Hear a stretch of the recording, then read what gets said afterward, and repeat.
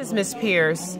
First period is walking out, and a student has asked me to video a part of the lesson and put it on YouTube. So here we go. Very brief video. Um, we want to write an equation of a line that is parallel to the x-axis. Now be very, very careful.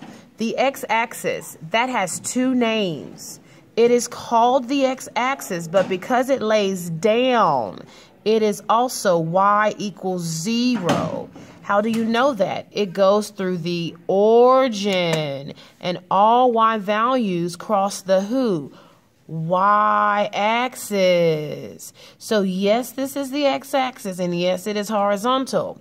But all y values, that means I see y, I see a number, they all lay down. So this is the x-axis, but he is also called y equals 0. So I want to write an equation that is parallel to this line that passes through 1, 3. Well, there is 1, 3. I've plotted it. So if I am going to write an equation that is parallel to this line, the x-axis, y equals 0, that passes through 1, 3, that line is y equals 3. So, y equals 0 is the x-axis. And the line that is parallel to this situation, this graph here, is y equals 3. Okay?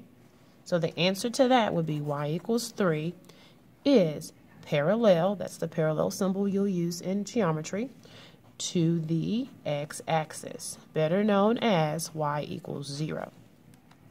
Okay, so now let's talk about the y-axis. I am the y-axis, but it has another name. All x values do what? Stand up. So this is x equals 0. It goes through the origin. Now, if x equals 0,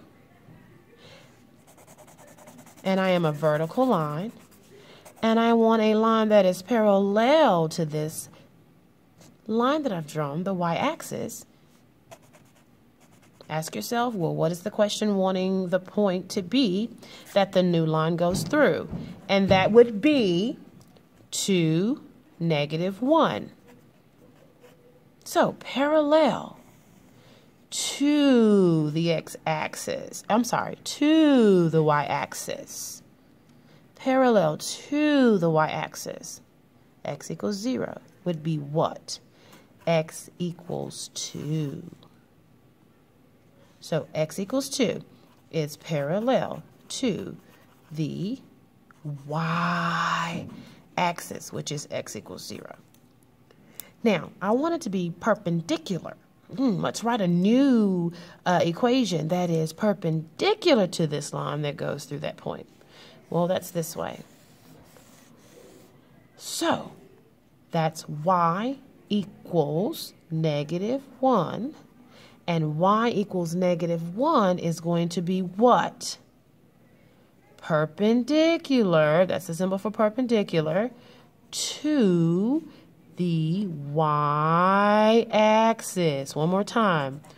y equals negative 1 is perpendicular because it creates a 90 degree angle to the y-axis. So now, what would be perpendicular to the x-axis? Oh, create a 90 degree angle here. I'm sorry for that. Perpendicular to the y. Ah, say that again. Perpendicular to the who? X-axis. That's the y equals 0 line would be what? What is this? 1 crossing the x-axis. Uh, let's say it better. This line crosses the x-axis at 1. So this would be x equals 1, and it crosses the x-axis at x equals 1. So the x equals 1 is perpendicular